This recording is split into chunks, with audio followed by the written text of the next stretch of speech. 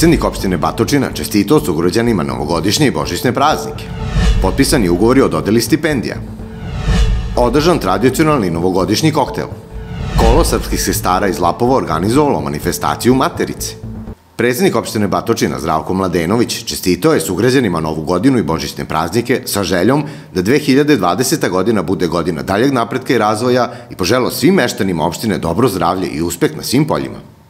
Poštovani sugrađani, evo nas na kraju još jedne e, godine, dakle nalazimo se na kraju 2019. godine koju ja kao predsednik opštine Batučina zaista sa punim pravom mogu da ocenim kao veoma uspešnu godinu, godinu u kojoj smo uh, uradili mnogo infrastrukturnih projekata, godinu u kojoj smo mnogo infrastrukturnih projekata započeli i godinu u kojoj smo se konačno, čini mi se, finansijski potpuno oporavili i stabilizovali i stvorili sve preduslove za dalje razvoj naše opštine.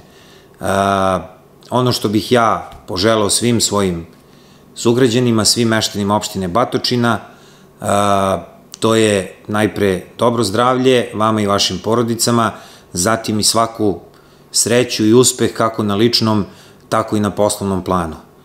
Čestitam vam novu 2020. godinu i želim vam da u zdravlju, miru i veselju takođe provedete i prestojeće božićne praznike. Predsednik opštine Batočina Zdravko Mladenović potpisao juče ugovore o dodeli stipendije za školsku 2019-2020 godinu sa 24 srednjoškolaca i studenta sa područja opštine Batočina. Mladenović je napomenuo da je ove godine novina to da je opština izdvojila sredstva za duplo više učenika nego prošle godine sa željom da stipendisti po završetku školovanja ostanu u Batočini i svojim znanjem potpomognu razvoj opštine. Razlik u odnosu na prethodnu godinu je ta što umesto šest učenika i šest studenta koliko su primali uh, prošle školske godine iz budžeta opštine stipendije, sada imamo 12 učenika i 12 studenta, ovaj, dakle ukupno 24 nominalni iznos stipendija ostao isti, ali, kažem, broj smo uvećali, odnosno duplirali, tako da sada zaista mislim da je zavidan broj dece sa teritorije naše opštine. Mi pomažemo finansijski ovaj, što se tiče njihovog školovanja. Koliko je studentima značajno da, da dobiju tu stipendiju?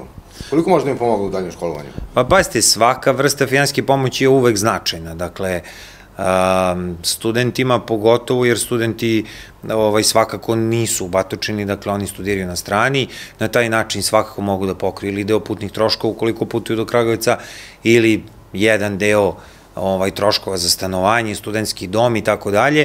Dakle te strane njima je svakako pomoć značajnija. Vidim da je ovde ove godine bilo i dosta učenika naše srednje škole Nikola Tesla, što mi je posebno drago, pa i njima u svakom slučaju, dakle, mogu da pokriju neke, neke da kažem, osnovne troškove, iako nemaju ovaj, troškove smešta ili putovanja na strani, ali svako da njihovi roditelji pokriju neke troškove njihovo školovanje, jer smatram da sva ova deca koja su to dobila, dakle na javnom pozivu, javnom konkursu koji je bio raspisan, da je svako od njih zaslužio to ovaj, i da svakako ovaj, sve jedno bili oni na strani ili išli kod nas ovde u srednju školu, njima će ta pomoć svakako dobro da doće. Da. Sem finansijske, verovatno, prepostavljam da im znači i podrška opštine koju dobijaju. Pa to je upravo ono što sam ja rekao i u obraćanju, obraćanju njima. Dakle, sama kad smo prvi put doneli odluku da uvedemo ovaj, učeničke uh, stipendije, uh, mi smo imali upravo to u vidu, znači da ta deca, odnosno ti mladi ljudi da shvate da opština zaista stoji za njih i misli na njih. Dakle, ono što ja želim i što sam im rekao u obraćanju malo pre, to je da zaista svako od njih jednog dana kad bude završio fakultete, da se svako od njih negde posveti razvoju našeg, na, na, naše opštine, odnosno našeg mesta i da svako ovaj, od njih negde da svoj doprinos setivši se u nekom trenutku, jel, eto, ta opština je negde pomogla kad, kad smo se mi školovali i da na neki način toj opštini, kažem, sutradan ovaj, vrate kroz to znanje upravo koje će steći, dakle, ničim drugim, nego znanjem koje će steći da svi zajedno, kažem, pomognemo da, da ova naša opština bude, bude bolje mesto za život. Jutros je u svečanoj sali Skupštine opštine Batočina organizovan tradicionalni novogodišnji koktel kojim su pored odbornika prisustvovali članovi opštinskog veća, predstavnici saveta mesnih zajednica, direktori javnih preduzeća, privrednici i drugi. Gosta je najpre pozdravio predsednik opštine Zdravko Mladenović uz konstataciju da je protekla 2019. godina bila uspešna u najvećem delu poslova i izrazio nadu da će naredna 2020. biti još uspešnija.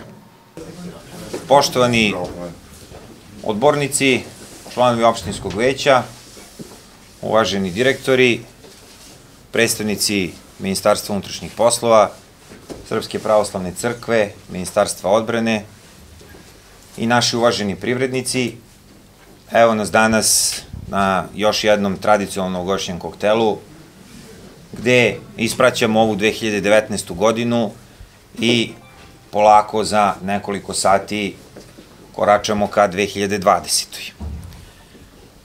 Ono što bih ja kao predsednik opštine želao da vam kažem danas prvo da izrazim svoju zahvalnost što ste došli u ovolikom broju danas na ovo naše tradicionalno godišnje druženje. E, želim da negde iskažem svoje zadovoljstvo, lično zadovoljstvo i zadovoljstvo ovaj, kao predsednika opštine kako je ova 2019. godina završena. Mislim da smo bili uspešni u najvećem delu poslova koje smo radili u prošloj godini. Ja sam juče imao sastanak sa direktorima svih ustanova i oni su takođe iskazali svoje zadovoljstvo time kako je godina prošla i to je ono što je u krajnjoj liniji najbitnije. Mislim da, je, da, da, da su ljudi zadovoljni onim što smo im pružili i u ovoj godini koja je za nama. Ono što sam juče rekao, mi kao lokalna samouprava nećemo preterano da menjamo kurs koji, na kom se trenutno nalazimo, zato što mislim da je to kurs koji je zaista iz jedne jako teške situacije do ove opštinu Batočina danas da bude jedna stabilna opština, opština koja se ne zadužuje, opština koja radi mnoge velike infrastrukturne projekte, čiji ste svi svedoci i čiji ćete tek da budete svedoci u 2020. godini? Pre svega, e, moglo je i bolje, a moglo je i gore, s obzirom sa čim smo raspolagali, zadovoljavajući nema. Naravno, uvijek postoji ovaj prostor da e, se efekti rada opštinske uprave, odnosno kompletne lokalne samuprave opštine Batočne podigne na još veći nivo i ima prostora. Nadamo se da u ovoj teku godini koja prestoji 2020. da ćemo da još više podignemo ovaj nivo rada i ostvarimo još veće rezultate. Iskoristio bih priliku ovaj, da čestitam građanima opštine Batočina pre svega Božić i ovaj, Novu godinu i da im poželim puno zdravlja, sreće i ljubavi. Što se tiče mesne zajednice Žirovnice, jako smo zadovoljni radovima u ovoj godini. Dosta toga smo uradili. Uvek smo izašli, uvek su nam izašli u susret opštinske vlasti. Imali smo jedan veliki ovaj, jednu veliku investiciju koju redko ko je očekivao da će biti ostvarena. Uradili smo asfalt do seoskog groblja, a to je velika dužina asfalta. Takođe smo uradili još jedan put do crkve što se tiče tih većih investicija. Što se tiče održavanja svega ostalog, veoma smo zadovoljni, sve je funkcionisalo jako dobro i nadamo se da će iduće godine biti još bolje. Iskoristio bi ovu priliku da svim građanima opštine Batočine čestitam novu godinu, Božić i sve ostale predstojiće praznike. A mi smo stvarno radili punom parom, imali smo puno uh, organizovanih uh, koncerata, uh, pozorišnih predstava, književnih večeri u saradnji sa Narodnom bibliotekom.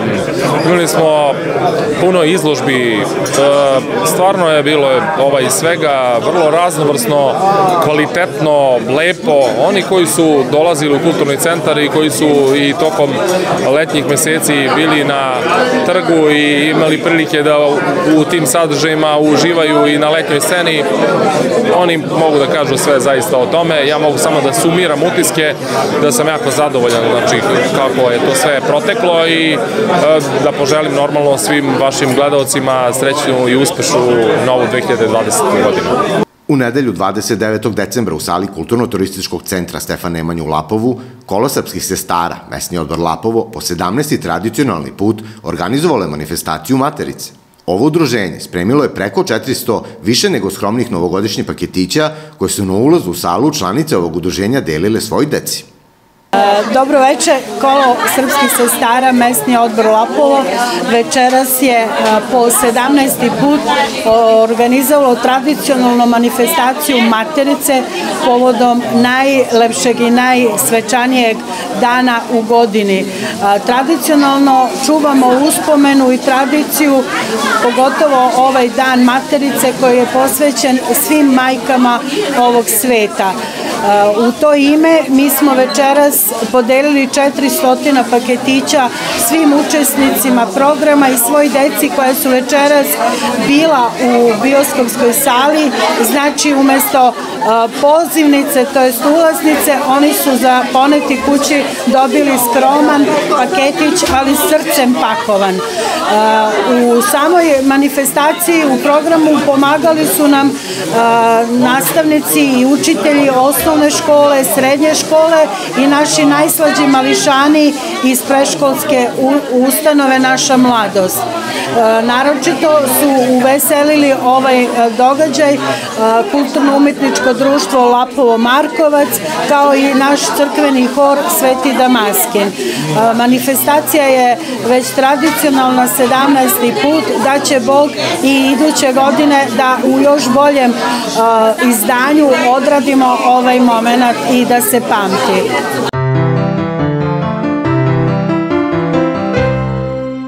Prvi novogodišnji dan u Batočini i okolini obeležit će hladno jutro sa slabim mrazem i kratkotrenom maglom.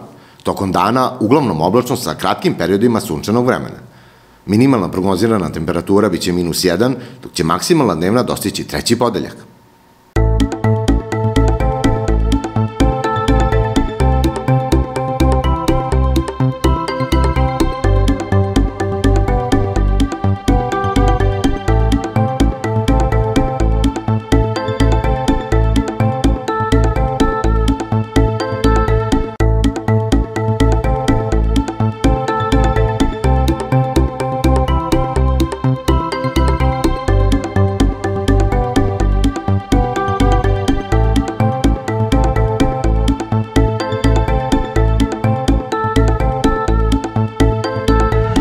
Predsednik opštine Batočina čestitao sugrađanima novogodišnje i božićne praznike. Potpisani ugovori o dodeli stipendija. Održan tradicionalni novogodišnji koktel. Kolo srpskih sestara iz Lapova organizovalo manifestaciju materice.